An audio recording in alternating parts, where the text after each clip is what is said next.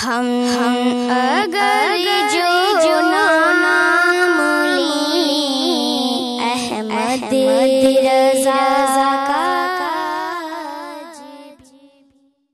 जिसके पैदाइशी सींग ना हो उसकी कुर्बानी जायज़ है और अगर सींग थे मगर टूट गए